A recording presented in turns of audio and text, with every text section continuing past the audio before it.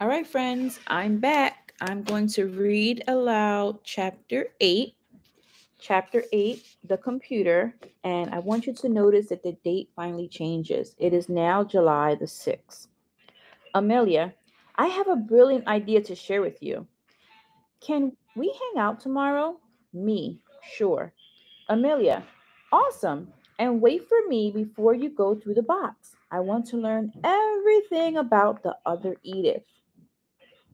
I stare at Amelia's words, conflicted. All night long, the box in the attic called to me, as if an invisible fishing line connected my fingertips to its cardboard edge. I felt a constant tug and pull. This sense that every time I opened my eyes, I was reaching for her through the dark. Me, you can't come over today. My thumbs hover over the glowing screen. The phone vibrates in my palm. Amelia, sorry. No, busy. Pretty please. Can we do it tomorrow? I sigh. Me, I'll wait for you, but I'm bringing the box down to my room. Don't want us to go back in the attic while my parents are around. They might get suspicious. She sends me two thumb up, two thumbs up emojis. I rise from the living room couch and inch to the doorway of the kitchen. I'm sorry, let me reread that part. I rise from the living room couch and inch past the doorway to the kitchen. Mom knocks an egg against the kitchen counter. Its shell spits into, not spits, splits. Sorry, guys. Its shell splits in two, and the raw yolk drops into the skillet with a slick sounding thwick. Dad pours pale batter over our waffle iron.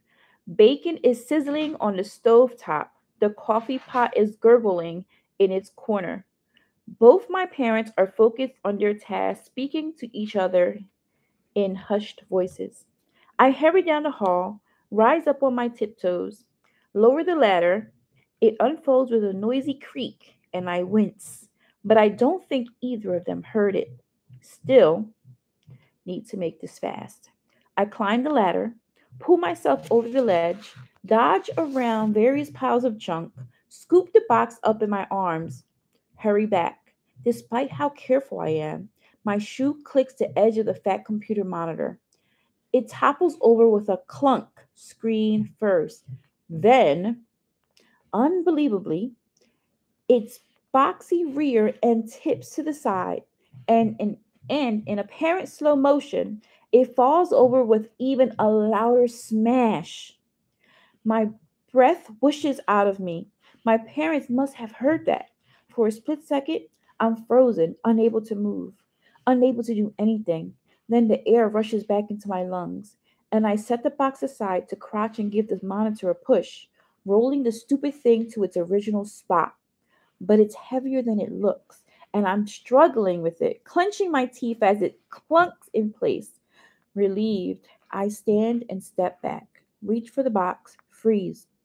No, no, this isn't right at all. The computer wasn't this far to the left when I first came up here, and the angle was wrong.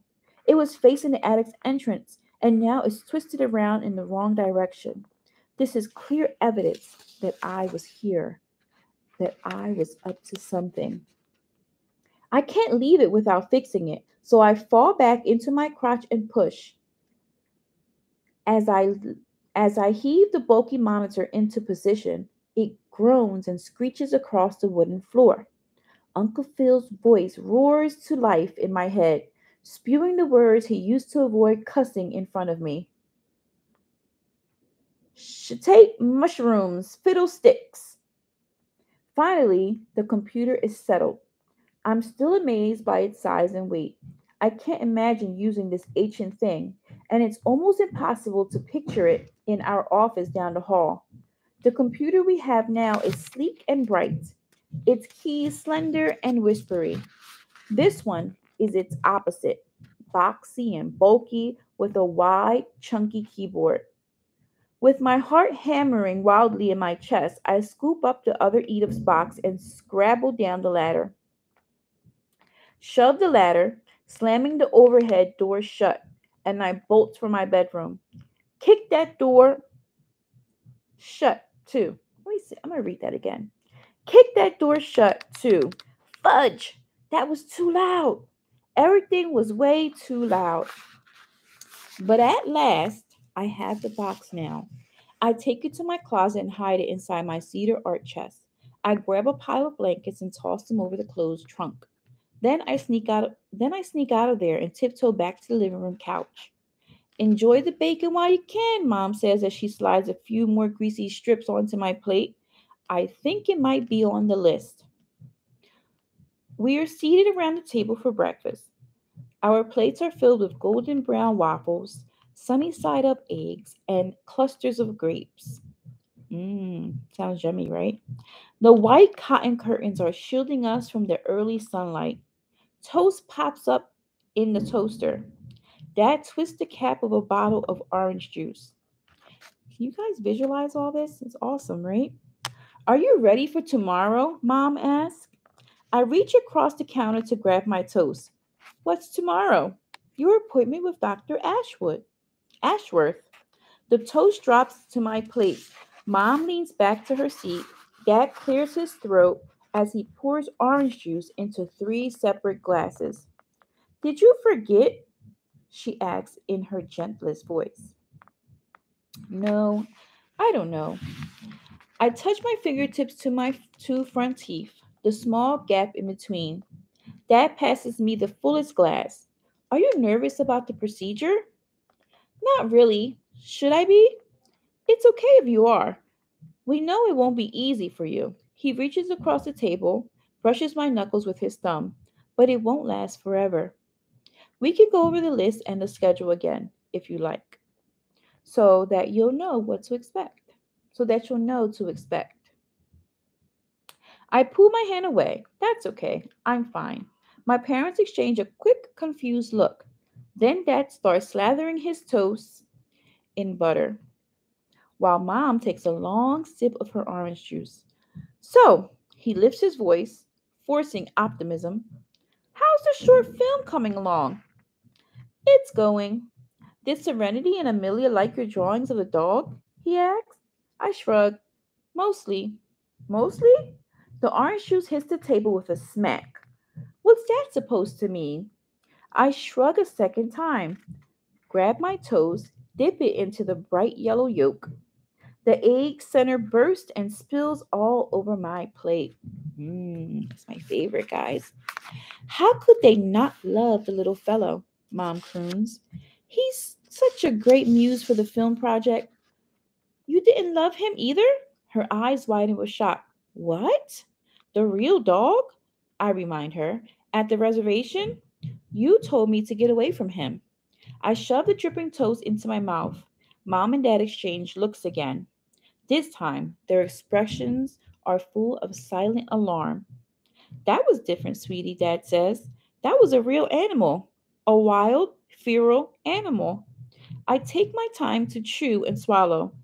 It was only a dog, a sweet little dog. He was gigantic. He was a gigantic dog, mom argues. He might have hurt you, but he didn't. We don't know where he came from, but we could have found, but we could have found out. We could have helped him.